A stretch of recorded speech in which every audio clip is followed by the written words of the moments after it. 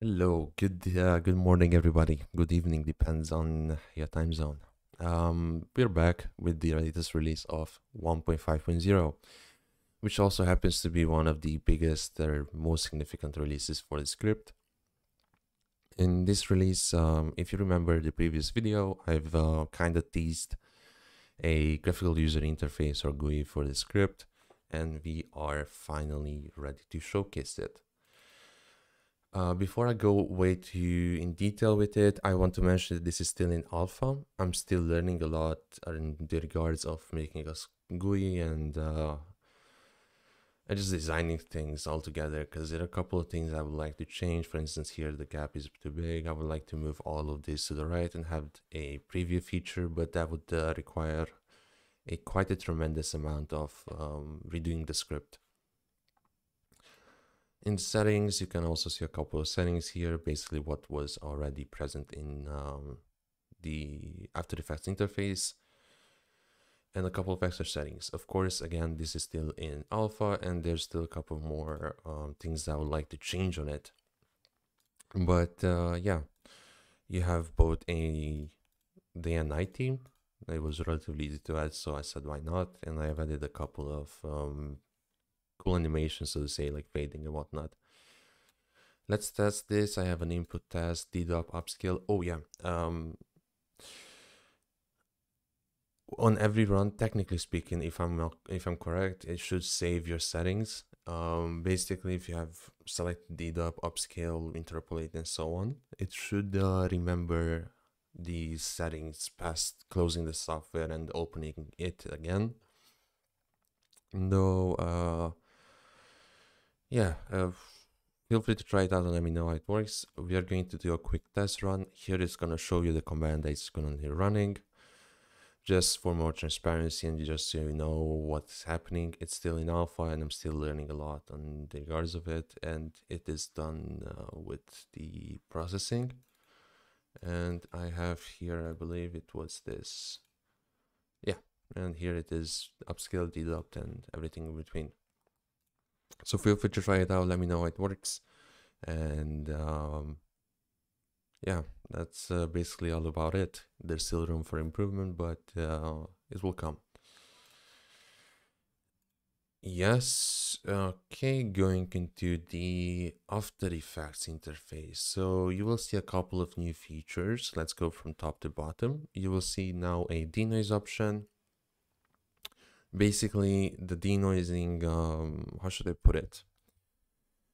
It's really good when you have like a, a really really blocky really noisy video um, as an input. You can uh, see some of the models that i've added span SCUNet nafnet and dpir each with their own strengths. Uh, generally speaking i would suggest using dpir or uh, span it really depends on your system, but I would suggest only utilizing this if you have an NVIDIA GPU. I have yet to add some alternatives for uh, AMD, but it will soon come.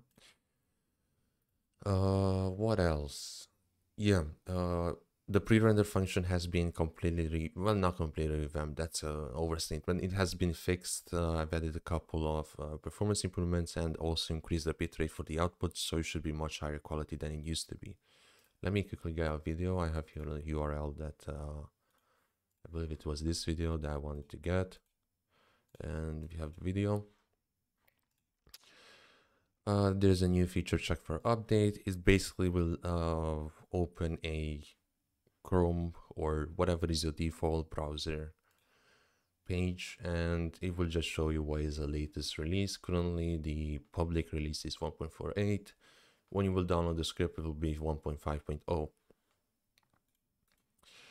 And it will also prompt you if you want to join the Discord server. Uh, yeah, and it's just going to work.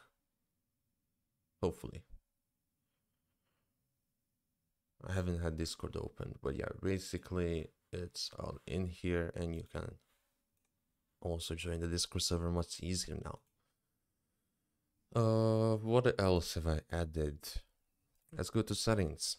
Oh yeah, upscaling models. I've added two new significant models, uh, mainly ShuffleCugan and CNN.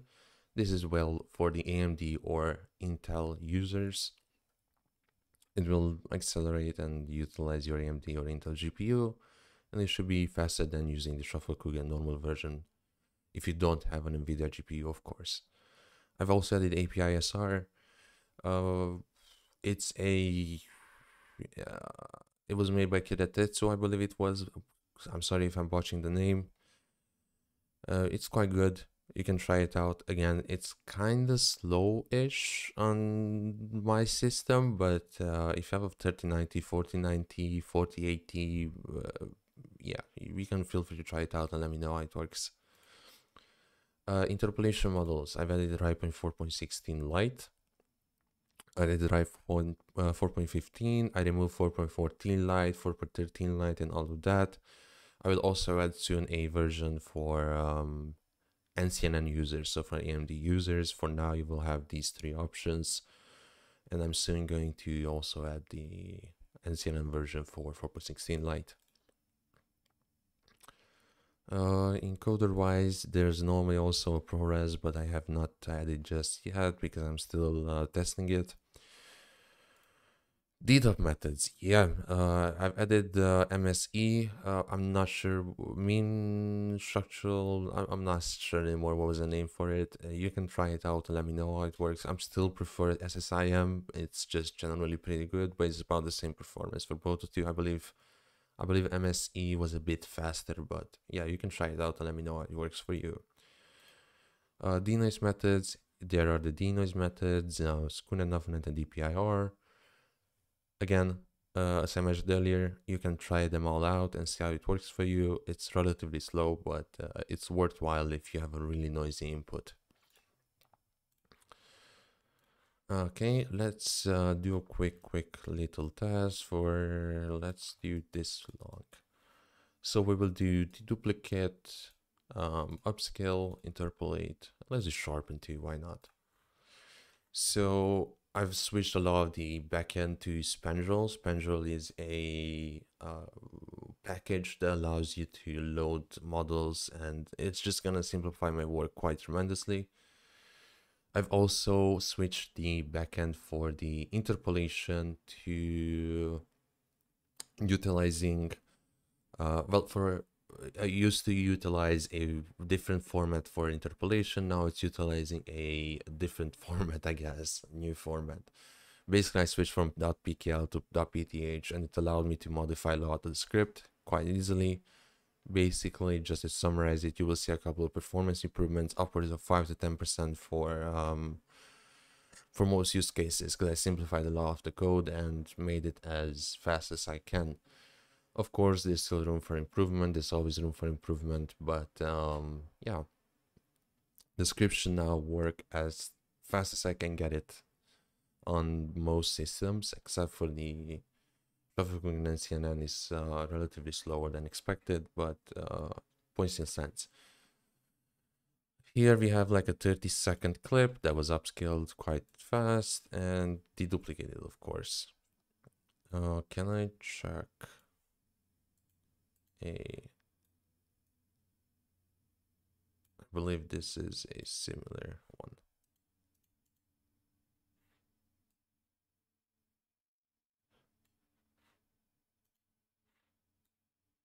Maybe I should have deduplicated it. Yeah, awesome. I meshed it. So the difference is quite striking and it's going to be as good, if not better than it was previously. I fixed a couple of bugs also for the auto cutting. It should work properly now. And uh, I've also switched the backend to a different um, uh, package. I forgot the name. I believe it was PySceneDetect. It's a bit faster and a bit more accurate than just using FFmpeg. I'm not exactly sure why. I believe it's the same architecture, but points to sense. If it's better, it's better, then I will take it. But uh, yeah, you can now utilize both After Effects or um, the graphical user interface that's providing the script. Feel free to let me know how it works out for you. Um, I do want to also emphasize again on the fact that the GUI is still experimental and there's still room for improvement on it. But uh, apart from that, you're more than welcome to try it out and let me know how it works. Have a wonderful uh, day, evening, and whatnot. In and I'm gonna come back with a uh, 1.6 in the near future. Goodbye.